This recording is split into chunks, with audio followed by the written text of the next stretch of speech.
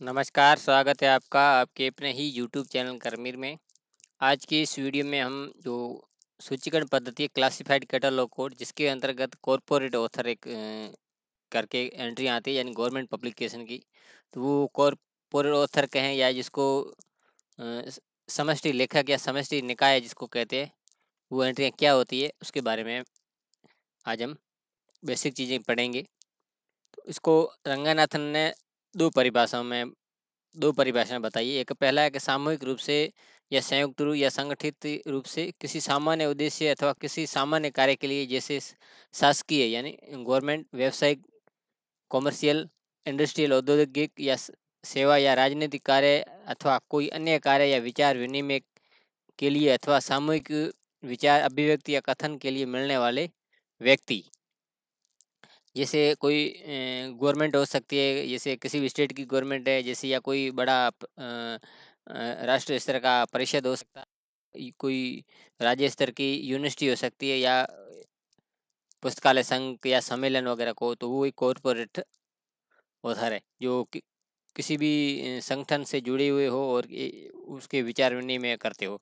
दूसरी एक और परिभाषा बताइए कि सामूहिक रूप से या संयुक्त असंगठित संगठित या अनौपचारिक रूप से किसी सामान्य अथवा किसी सामान्य कार्य के लिए शासकीय, व्यावसायिक, औद्योगिक या राजनीतिक कार्य के लिए या विचार के लिए कोई व्यक्ति या कथन के लिए मिलने वाले व्यक्ति जैसे अंतर्राष्ट्रीय कोई संघ है या अंतर्राष्ट्रीय यूनिवर्सिटी का संघ है या कर्मचारियों का संघ है ये।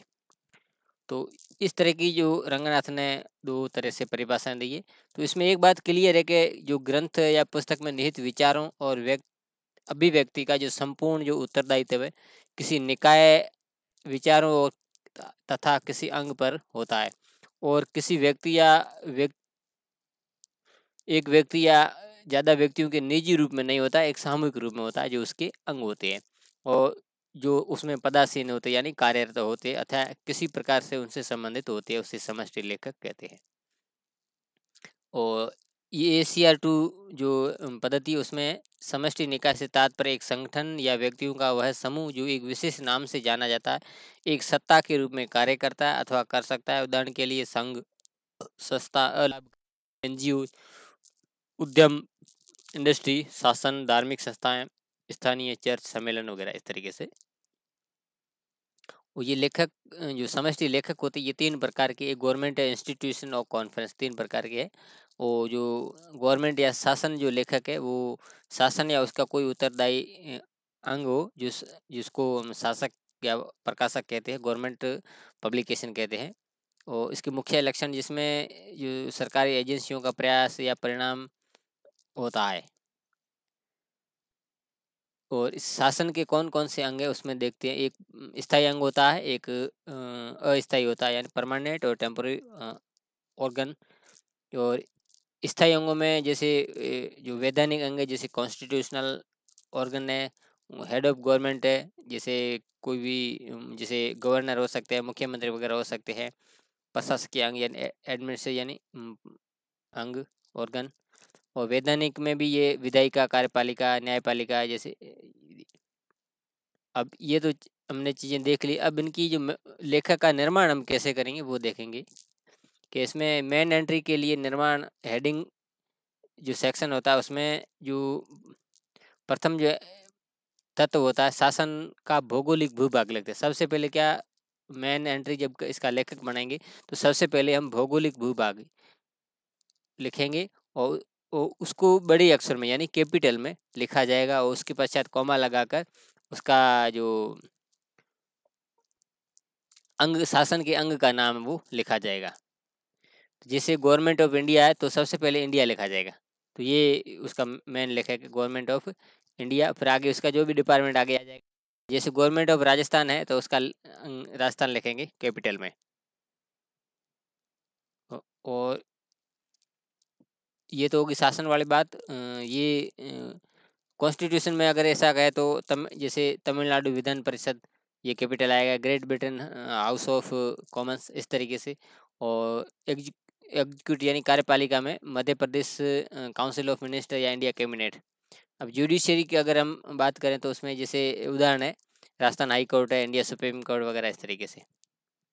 और शासन प्रमुख जैसे राज्यपाल है मुख्यमंत्री वगैरह है राज, रा, इस तरीके से हो तो। जैसे राजस्थान गवर्नर फिर कोष्टक के अंदर उसका नाम। तो बाहर जो भी है वो कैपिटल है अंदर नॉर्मल राइटिंग में।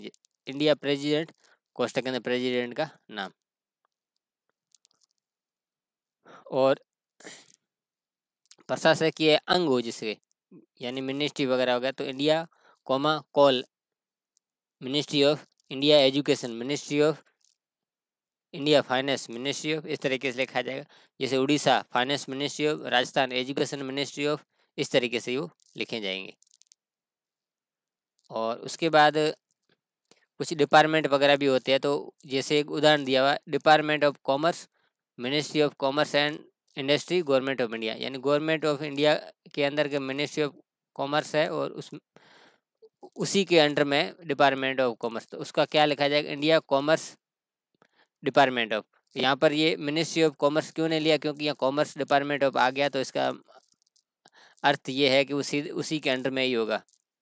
कहने का मतलब यदि डिपार्टमेंट ऑफ़ कॉमर्स लिख दिया तो ये समझा जाएगा कि ये डिपार्टमेंट ऑफ़ कॉमर्स है मिनिस्ट्री ऑफ़ कॉमर्स के अंडर में काम करता है। यदि इससे कुछ अलग होता डिपार्टमेंट ऑफ़ तो हम यहाँ लिखे एक नीचे और उदाहरण दिया होगा।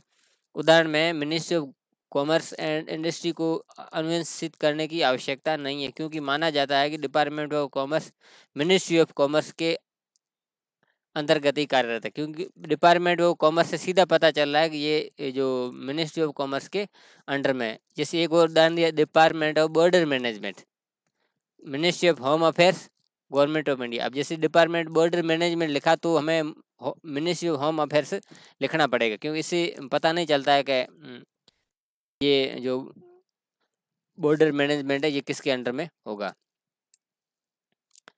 तो India home affairs ministry of फिर comma border management department of तो इसमें मध्य भाग में मिनिस्ट्री ऑफ़ बॉर्डर मैनेजमेंट को अंतर्वेशित करना आवश्यक है।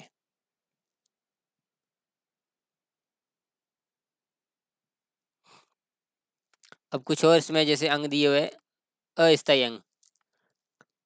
इनमें जैसे समितियाँ वगैरह या आयोग वगैरह उनका आगा। जैसे एक इसमें India library advisory committee for 1956 chairman K P Sana. तो इसमें उस कमेटी का नाम पहले फिर सन और उसके बाद कोष्ट के अंदर चेयरमैन का नाम। जैसे Jharkhand rehabilitation of tribes committee for, फिर 2009 फिर उसका नाम जो चेयरमैन का।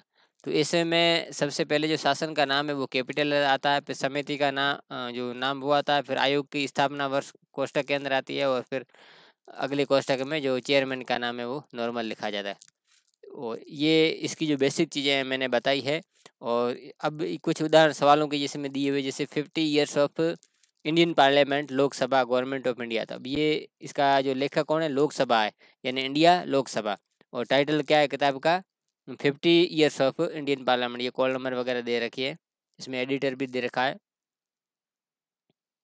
एडिटर है जी सी मल्होत्रा। एक और सवाल है, एनिमल हस्बेंड्री रीगेंड, ये टाइटल है, a place of farm animals in sustainable agriculture, department of animal husbandry, ministry of agriculture. तो ये इसका लेखक है, government of India agricul, ministry of agriculture और डिपार्टमेंट ऑफ़ एनिमल हस्बेंड्री। ये इसका लेखक है, बाकी ऊपर वाला टाइटल है। और ये यूनेस्को का है मैनेजमेंट ऑफ़ एडल्ट एजुकेशन ये यूनेस्को का है। ये भी यूनेस्को का है इंडियाज एजुकेशन प्रॉब्लम तो इसमें भी ये जो डिपार्टमेंट ऑफ़ एजुकेशन है, यूनेस्को का ये इसका लेखक है।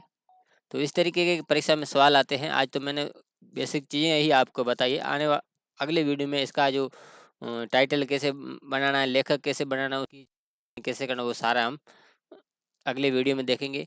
उम्मीद है वीडियो आपको समझ में आ गया होगा। ये वीडियो अच्छा लगा तो लाइक कर दीजिए। यहाँ तक वीडियो देख लीजिए। चैनल को भी सब्सक्राइब कर दीजिए। बेल आइकन दबा के नोटिफिकेशन ऑल पर क्लिक कर दीजिए। अगली बार में जो कोई महत्वपूर्ण वीडियो बनेगा उसका नोटिस नोटिस आपको मिल जाएगा। मिलते हैं अगली वीडियो में। तब तक के लिए धन्यवाद।